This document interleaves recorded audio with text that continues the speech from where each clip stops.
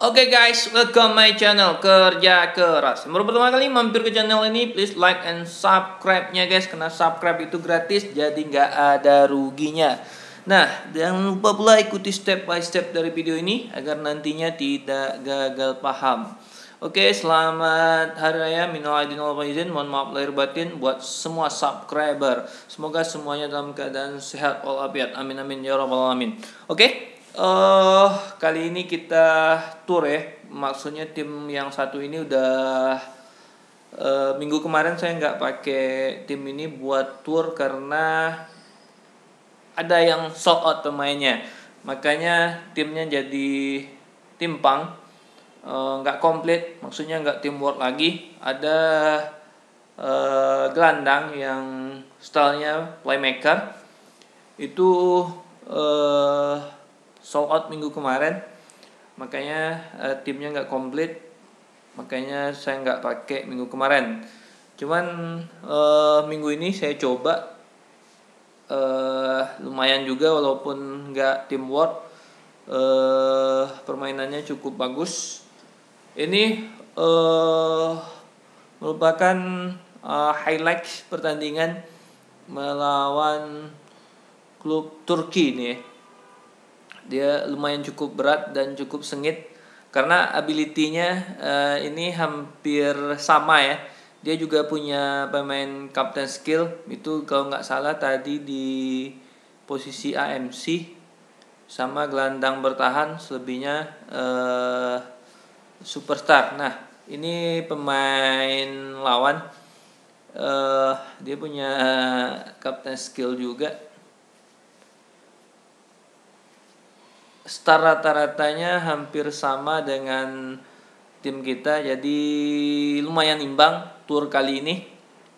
Dia pakai formasi 442N. Saya masih memakai formasi 31213. Kalau timnya cukup bagus, uh, strikernya punya ability yang bagus, saya pakai formasi 31213 umpan terobosan. Makanya saya perlu uh, gelandang itu yang punya skill intuisi. Oke. Okay. Oh, ini menit-menit awal udah gol. Ternyata skill kanon saya udah lama nggak menggunakan skill kanon sering menggunakan skill skill sniper kombinasi magician untuk lini depan. Uh, setelah saya coba di beberapa pertandingan ternyata menggunakan striker yang skillnya full atau komplit ini sniper magician and cannon. Skill yang tiga ini uh, ternyata cukup bagus. Uh, lumayan. Daripada beberapa tahun yang lalu mungkin di video sebelumnya itu saya nggak menggunakan skill kanan karena sering shoot jarak jauh itu sering uh, gagalnya daripada golnya makanya udah lama saya nggak menggunakan skill kanan. Ini coba-coba ternyata cukup bagus. Dari sud, sud jarak jauhnya ini striker saya yang Cristiano Ronaldo sama Lel itu punya skill kanon skill komplit skillnya tiga. Tapi saya taruh di sayap. Kalau taruh di tengah eh, kurang bagus. Karena udah saya coba taruh di tengah kurang bagus. Makanya yang di tengah skillnya sniper and cannon aja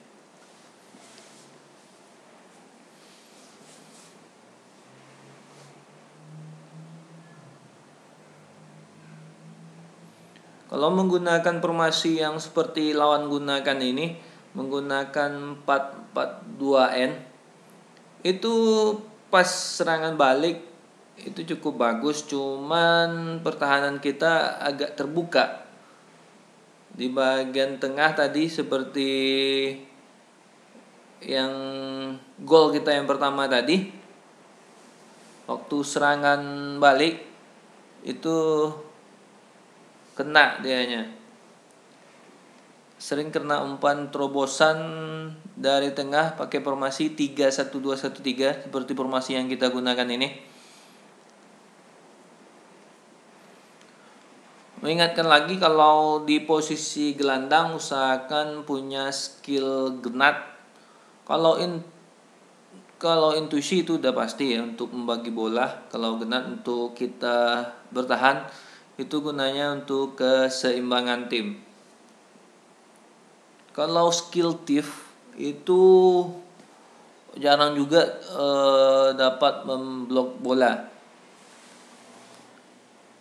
Oke, babak pertama usai itu masih skor uh, eh, 2-1.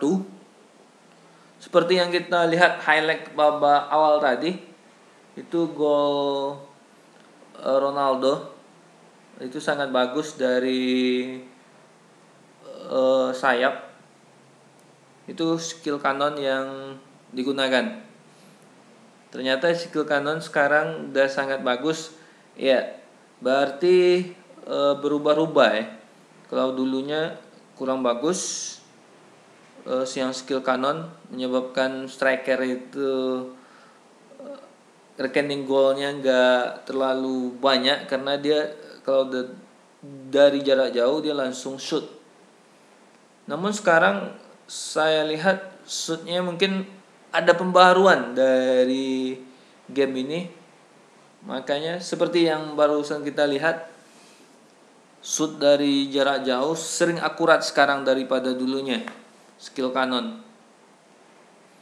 Makanya saya menggunakan skill kanon di Lel sama Cristiano Ronaldo kalau yang untuk yang standar yang striker saya yang posisi tengah itu masih menggunakan skill uh, sniper and magician. Itu yang barusan kenapa agresinya saya turunkan. Itu biar memberi ruang kepada Alvaro Morata ini skill kapten lawan cukup bagus. Dua kali dia membobol gawang kita. Uh, skill kaptennya yang merah ya. Jadi cukup bagus juga kaptennya. Dua kali gawang kita dibobol. Ini Alvaro Morata pemain baru. Yang baru saya dapatkan kemarin dia punya skill sniper magician belum terlalu padu mainnya karena masih baru di tim. Ini ada lagi yang mau saya ganti itu gelandang yang Murphy. Itu dia uh, stylenya metronom. Jadi nggak teamwork ya. Di babak akhir uh, the skor tipis udah menit 79 itu agresinya diturunkan ke bawah satu yang gelandang biar dia nantinya bertahan. Yang Lee tadi dia punya skill tiff punya skill untuk bertahan juga. Makanya agresinya diturunkan ke bawah.